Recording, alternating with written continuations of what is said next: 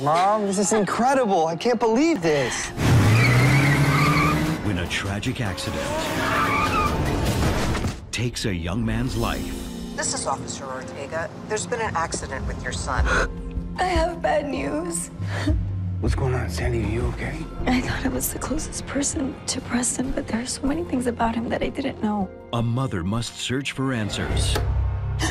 I'm so sorry. I didn't mean to scare you. I just, I, I didn't know who it was. Carrie, this is Crystal, Preston's ex-girlfriend.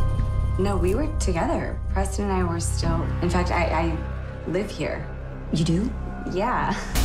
But the deeper she digs, I want nothing to do with you. You have serious issues. You need help.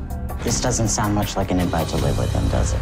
the more dirt she uncovers. So what you're telling us is that she knew exactly where Preston was the morning of his accident? and what she's about to learn. How long did the two of you date? Nine, ten months. A big mistake. If it's not keying my car, it's killing my fish. Or vandalizing my house. Why do you think she would lie about moving in with Preston? Who knows what goes through her crazy mind?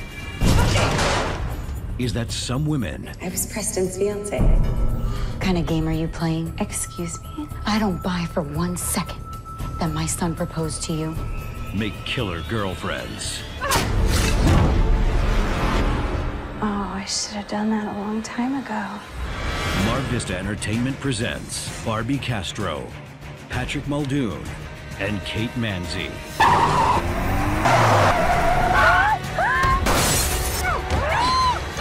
Two of your boyfriends end up dead and they're gonna suspect you. No, they won't.